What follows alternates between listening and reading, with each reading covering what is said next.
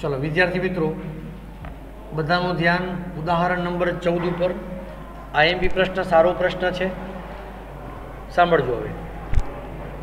જો એ અને બી નિરપેક્ષ ઘટનાઓ છે, સાંભળજો. ઉદાહરણ નંબર આપણે ચૌદની વાત કરીએ છીએ. એ અને બી નિરપેક્ષ ઘટનાઓ છે. જો બે ઘટનાઓ નિરપેક્ષ હોય, તો પી ઓફ એ છેદ બી એના બરાબર P of A into P of B થશે. આ હંમેશા તમે યાદ રાખજો. હવે એ અને બી નિરપેક્ષ હોય, તો એ પણ યાદ રાખવાનું. એ અને બી ડેશ પણ નિરપેક્ષ હોય. એ ડેશ અને બી પણ નિરપેક્ષ હોય. એ ડેશ અને બી ડેશ પણ શું હોય? નિરપેક્ષ થાય. પણ ક્યારે? એવું લખેલું હોય કે એ અને બી નિરપેક્ષ ઘટનાઓ છે, તો આ બધાના પૂરક પણ એ એકબીજાના નિરપેક્ષ ઘટનાઓ બને. ચલો ક્લિયર વાત? હવે તો સાબિત કરો કે એ અને બીમાંથી ઓછામાં ઓછી એક ઘટના ઉદ્ભવે તેની સંભાવના ફલાણી છે, આપણે સાબિત કરી બતાવવું છે. ધ્યાનથી જોજો. શું સંભાવના બતાવવાની છે? એ અને બીમાંથી ઓછામાં ઓછી એક. આલા કોણ છે? બાર એ ભાઈ, જજે, ચૂપ કરો યાર.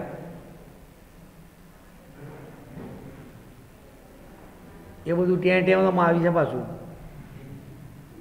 આ જોવાનું કહેશે નહીં કોઈને, પણ દરવાજો બંધ કરશે. ઉત્તમ રસ્તો છે, બંધ કરી દે. આવા પણ મહાન વ્યક્તિઓ છે દુનિયાની અંદર. આ માણસ હંમેશા સાયન્સને લાયક છે, કારણ કે ઝઘડામાં નહીં માનતો. સોલ્યુશનમાં બિલીવ કરતા ગુડ તે સાયન્સને ધન્ય કરી દીધો ભાઈ. આવા મહાન વ્યક્તિઓનો દેશની જરૂર છે.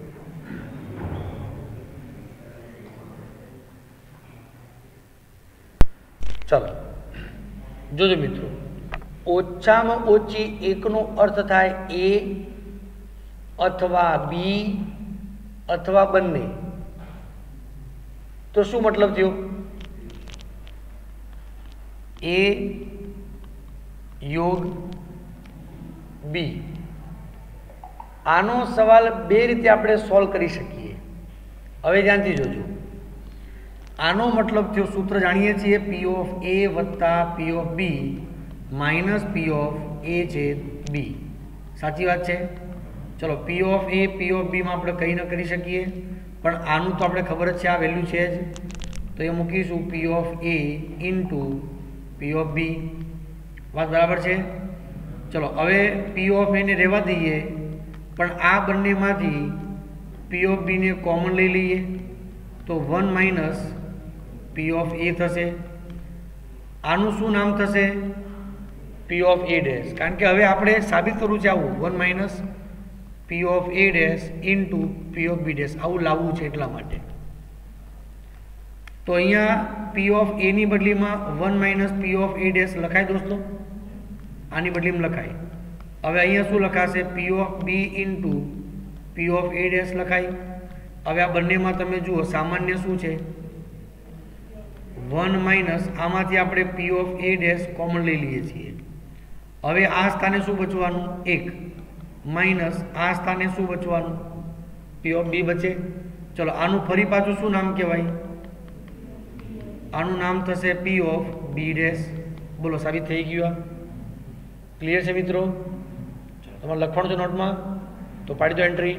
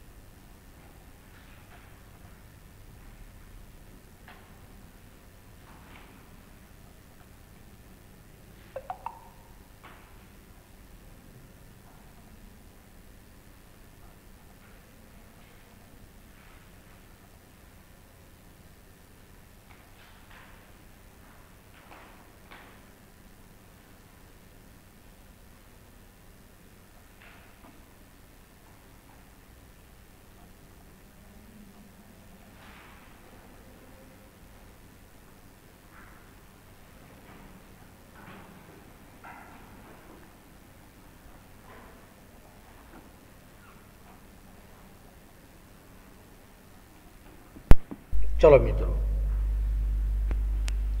હવે સ્વાધ્યાય તેર પોઈન્ટ બેમાં આપણે ચર્ચા કરવી છે. એની અંદર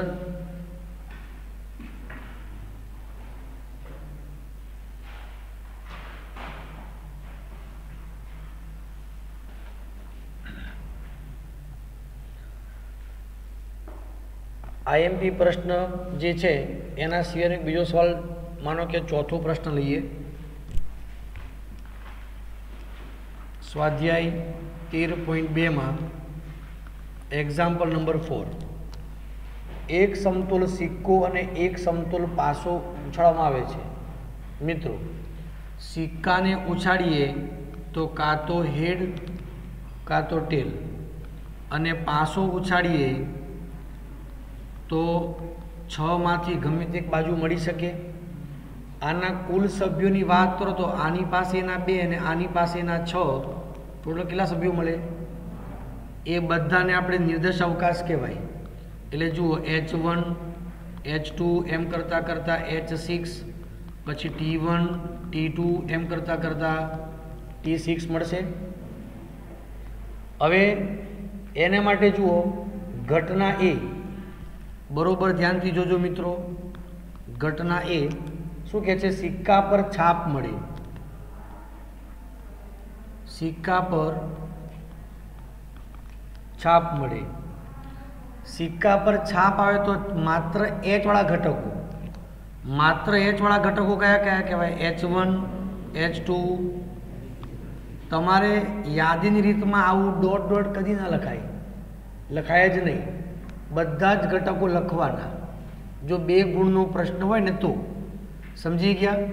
એમસીક્યુ હોય તો આપણી જાણકારી માટે એમાં એમસીક્યુ તો લખવાનું શું કરવા? બરાબર ને? પણ બે માર્ક્સનો પ્રશ્ન હોય તો આપણે વ્યવસ્થિત રીતે ત્યાં નોંધ પાડવી પડે. તો અહીંયા તમે જુઓ તો સભ્યો છ થયા.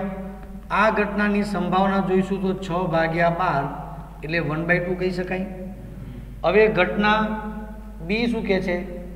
પાસા પર ત્રણ મળે. જોજો, ઘટના બી કહે છે, પાસા પર ત્રણ મળે. એટલે ત્રણ નામનો સભ્ય આવે, પાસા પર ભલે ત્રણ મળે, પણ સિક્કાની તો ગમે તે બાજુ આવી શકે. એટલે આમાં કોણ કોણ આવશે? એચ ત્રણ આવશે અને ટી ત્રણ આવશે કે નહીં? વાતમાં સમજ્યા દોસ્તો? હવે આની સંભાવના આપણે જો કહીએ પીઓ બી બરાબર બે ભાગ્યા બાર તો વન બાય સિક્સ કહેવાય. તો હવે કહે છે કે બંને ઘટનાઓ નિરપેક્ષ છે કે નહીં તે ચકાસો? હવે આપણી પાસે સૂત્ર છે પી ઓફ એ છેદ બી પણ પહેલાં શું જોઈએ? એ છેદ બી જોઈએ કે નહીં? તો પહેલાં આપણે એ છેદ બી ઘટકો લઈએ બંનેમાં. તો બંનેમાં કોમન ઘટક કયો આવશે? એચ થ્રી જ આવશે કે નહીં? ચલો પી ઓફ એ છેદ બી બરાબર શું મળશે? વન બાય ટ્વેલ્વ મળશે. હવે આપણે P of A into P of B કરીશું. તો આની સંભાવના વન બાય ટુ ને આની સંભાવના one by six one upon twelve બંને સરખા થઈ ગયા મિત્રો? એટલે અહીં પી ઓફ એ છે બી બરાબર. P of A into P of બીનું પાલન થતું હોવાથી આપેલ બંને ઘટનાઓ કેવી છે? નિરપેક્ષ ઘટનાઓ છે એમ સાબિત થઈ જાય. આમ એ અને બી નિરપેક્ષ ઘટનાઓ છે. બધાને ઊંચાઈ છે ભાઈ? અક્ષર આવા છે પણ વંચાય છે ને? બહુ સરસ. નોંધ પાડી લઈએ આપણે.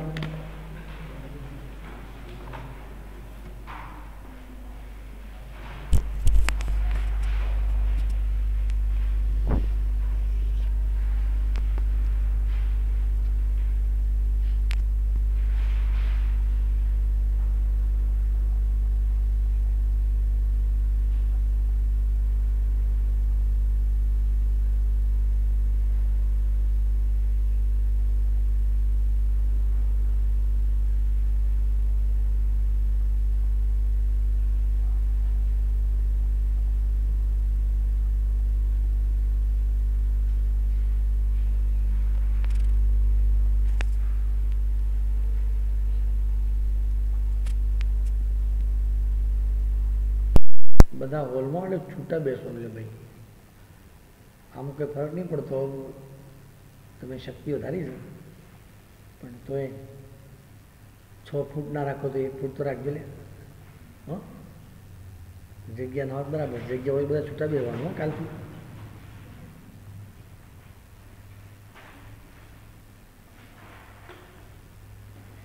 એક એક ફૂટનું ડિસ્ટન્સ રાખવાનું આ લેક્ચર પૂરું થયા પછી હવે ઠીક બેસી ગયા તો બેસી ગયા. આ લેક્ચર પૂરું થાય તરત પછી ડિસ્ટન્સ કરી દેવાનું. જગ્યા છે તો પછી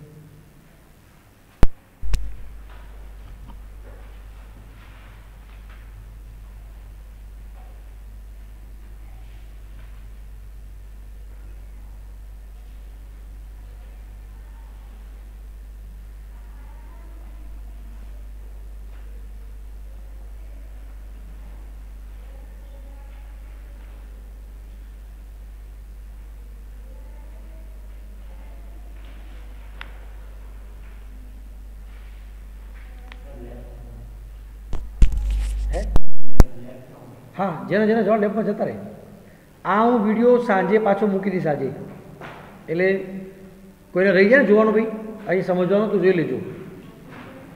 પાંચ વાગ્યા સુધીમાં હું ગ્રુપમાં મૂકી દઈશ, સાંજે.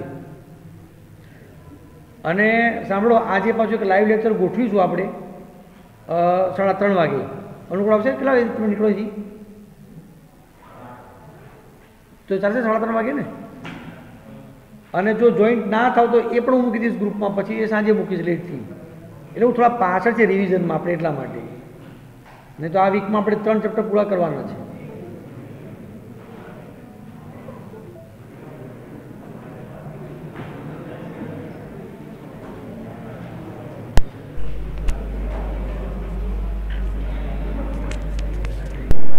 પણ વીડિયો જોતા રહેજો. બરાબર છે? મૂકી દઈશ હું સાંજે પાંચ વાગ્યા સુધી મૂકી જ દઈશ.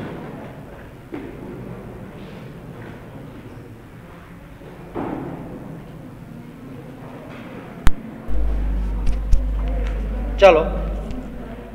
વિદ્યાર્થી મિત્રો, સાતમો સવાલ જોઈએ આપણે. એક્ઝામ્પલ નંબર સેવન આપેલ ઘટનાઓ એ અને બી માટે P of A one by two P of A યોગ બી ત્રણ ભાગ્યા પાંચ, અને પી ઓફ બી બરાબર બી છે. પી છે. હવે આ ઘટનાઓ પરસ્પર નિવારક હોય તો પી શોધવાનું છે. પહેલું એ અને બી પરસ્પર નિવારક હોય. મિત્રો, જો બે ઘટનાઓ પરસ્પર નિવારક હોય,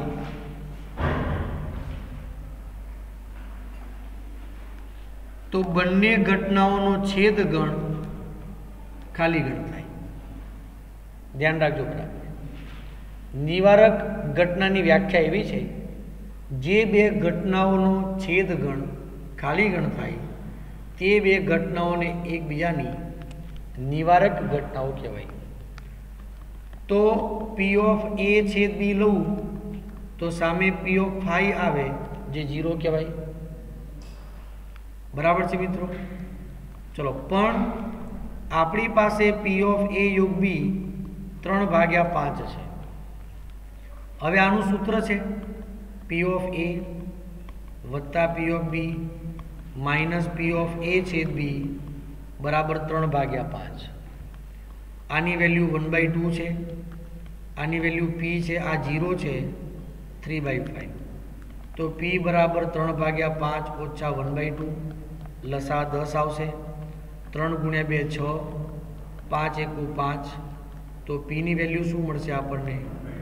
તો પહેલા જ પ્રશ્નમાં આનો જવાબ રહેશે વન બાય ટેન હવે મિત્રો આનો બીજો સવાલ શું કીધું છે? એ અને બી કેવી ઘટનાઓ છે? નિરપેક્ષ ઘટનાઓ છે. એ આપણે જાણીએ જ છીએ. પી ઓફ એ છે બી બરાબર P of A into P of B થાય. પી ઓફ એ આપણી પાસે વન બાય ટુ છે. પી ઓફ બી આપણી પાસે પી છે. તો આ જે વેલ્યુ થશે, એ પી થશે પી બાય ટુ થશે. ચલો, હવે મૂળ સૂત્ર જ વાપરવાનું. પી ઓફ એ યોગ બી એની વેલ્યુ થ્રી બાય ફાઇવ છે. આનું સૂત્ર આવશે પી ઓફ એ વત્તા P of B minus P of A છેદ બી બરાબર ત્રણ ભાગ્યા પાંચ. આની વેલ્યુ વન બાય ટુ આની વેલ્યુ પી આની વેલ્યુ પી બાય ટુ આપણે ઉપર શોધી શોધી ના પી બાય ટુ એના બરાબર થ્રી બાય ફાઇવ ચલો, આ બંનેની બાદબાકી શું થશે? પી બાય ટુ થશે અને આ વન બાય ટુ આ બાજુ આવી જશે. એટલે three upon five minus one by two એટલે ઉપર જ શોધ્યું વન બાય ટેન બે, પાંચ, દસ થઈ ગયા. તો હવે પીની વેલ્યુ શું આવશે? સમજી ગયા દોસ્તો? તો આવી રીતે પીની બે કિંમતો આવી શકશે. પ્રશ્ન કેવો પૂછાય છે એને આધારે પીની વેલ્યુ આપણે મૂકવાની રહેશે. ક્લિયર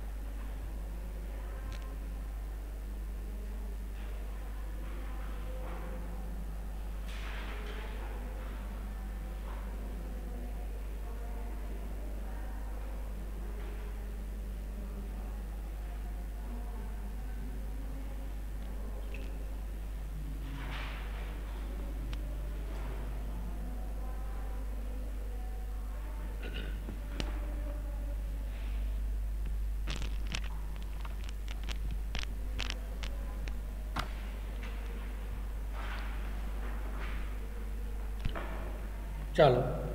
વિદ્યાર્થી મિત્રો, દાખલો નંબર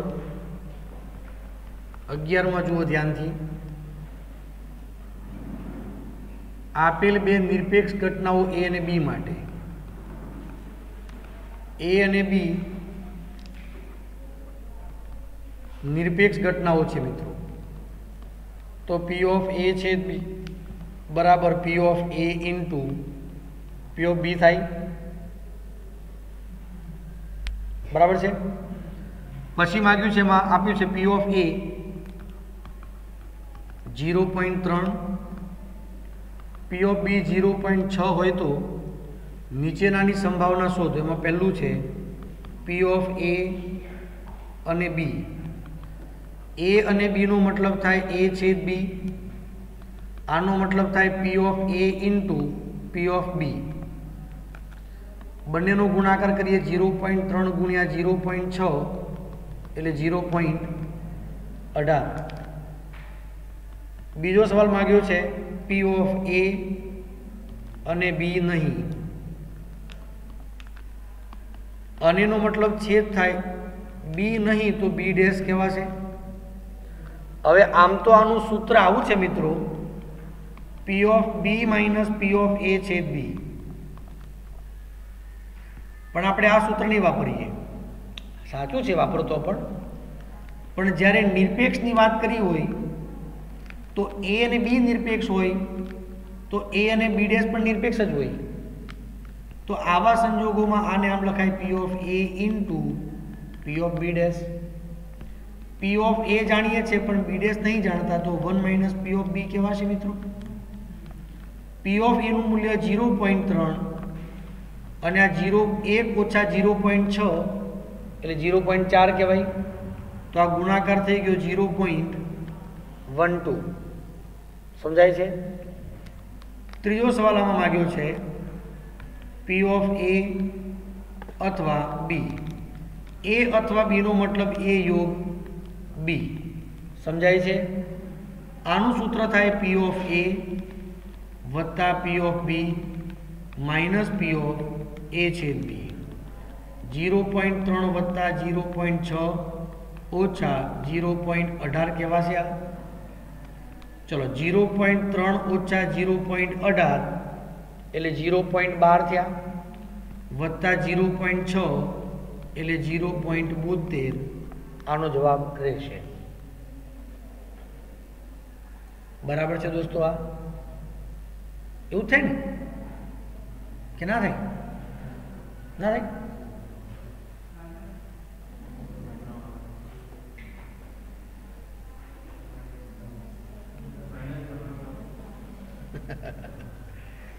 તો આન્સર હશે પોઈન્ટ સેવન ટુ એટલે ભાઈ જીરો પોઈન્ટ ત્રણ એટલે આમ લખાય દોસ્તો.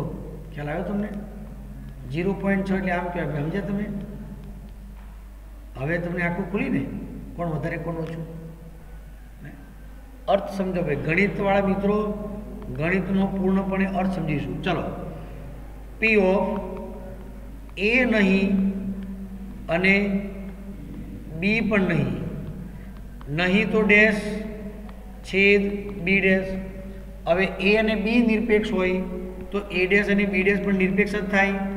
તો આનું સૂત્ર આવું થશે મિત્રો. સીધો જ છેદની જગ્યાએ ગુણાકાર. પી ઓફ એ ડેશ એટલે one minus P of A P of A zero point ત્રણ છે.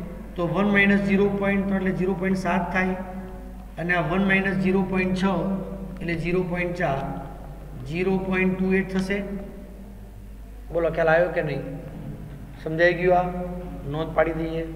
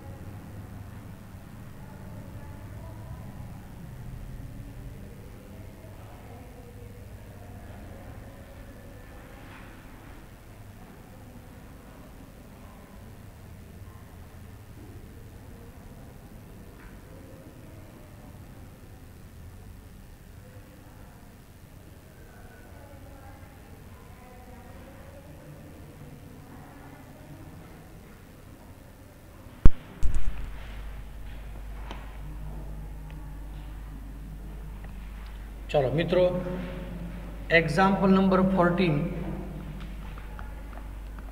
એ ખાસ આઈએમપી પ્રશ્ન છે.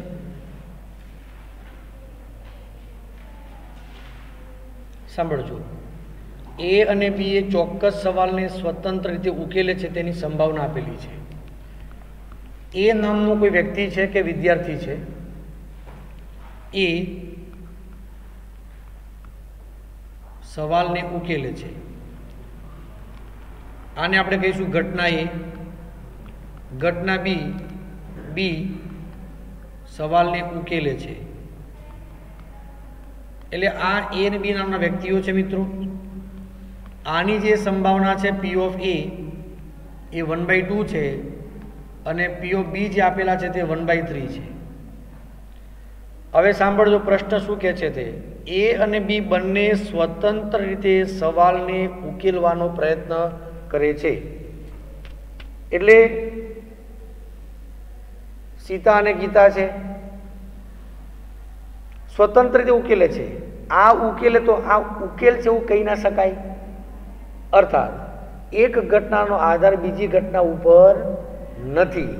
આવા સંજોગોમાં આ બંને ઘટનાઓને નિરપેક્ષ ઘટનાઓ ગણી શકાય. ધ્યાનથી સમજવાની વાત છે.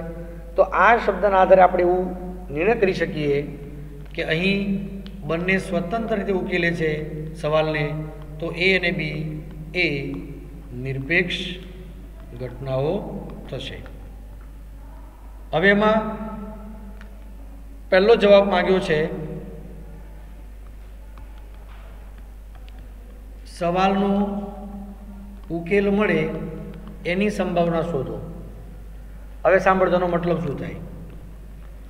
તો માની લો કે એ નામનો વિદ્યાર્થી સવાલ ઉકેલે તો એ, માનો કે ક્લાસરૂમમાં બે વિદ્યાર્થી ભણતા હોય, એ અને બી ભણે છે, એ અને બી સવાલના, બંનેને સવાલ આપીએ છીએ આપણે, તો એ નામનો વિદ્યાર્થી જવાબ લાવી દે છે. તો પણ ક્લાસરૂમમાં જવાબ મળી ગયો એમ કહેવાય? ઓકે એ જવાબ ના આપે, પણ બી જવાબ આપે? સવાલને ઉકેલી દે તો એ સવાલ ઉકેલાઈ ગયો એમ કહેવાય? બંને જવાબ આપી દે છે, તો પણ સવાલ ઉકેલાઈ ગયો એમ કહેવાય? તો તમે સમજ્યા આનો અર્થ? યસ વાક્યનો અર્થ આપણે સંકેતમાં કહીએ તો એ યોગ બી. સમજાશે દોસ્તો? એ સવાલ ઉકેલે અથવા બી સવાલ ઉકેલે અથવા બંને ઉકેલે. એનો મતલબ કેવું કહેવાય કે સવાલનો ઉકેલ મળે. તો આનું સૂત્ર થશે P of A plus P of B minus P of A છેદ બી તો P of A plus P of B minus P of A into P of B કહીશું આપણે. ચલો પી ઓફ એ કેટલા છે? One by two plus one by three minus one by two into one by three ચલો, લસા કેટલું મળશે? છ. અહીંયા કેટલા આવશે? ત્રણ. અહીંયા બે. અહીંયા એક. ત્રણ વત્તા બે, પાંચ ઓછા એક. ચાર ભાગ્યા છ. તો આનો જવાબ શું આવશે? ટુ બાય થ્રી સમજાયું મિત્રો? ચલો, બીજો સવાલ એમાં શું માગ્યો છે? બેમાંથી એકને જ જવાબનો ઉકેલ મળે તેની સંભાવના. બેમાંથી એકને જ ઉકેલ મળે. હવે આનો અર્થ તમે ખાસ સમજો મિત્રો. માની લો કે એને ઉકેલ મળે અને બીને ના મળે. તો બીડેશ કહેવાય. અથવા અથવા એને ઉકેલ ના મળે, પણ બીને મળે. સમજાવ્યું તમને? તો આવી એક ઘટના થશે. હવે ધ્યાનથી સમજો, માન, માની લો કે આનું નામ એક્સ છે અને આનું નામ વાય છે.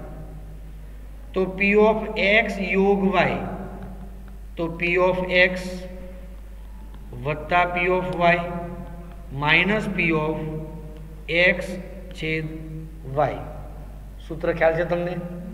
પણ એક્સના સ્થાને શું છે? એ છેદ બી ડેશ. વાયના સ્થાને એ ડેશ છેદ બી. અહીં આવશે એ છેદ બી ડેશ, છેદ એ ડેશ, છેદ બી. હવે જુઓ, એ છેદ એ ડેશ, એટલે ખાલી ગણ કહેવાય.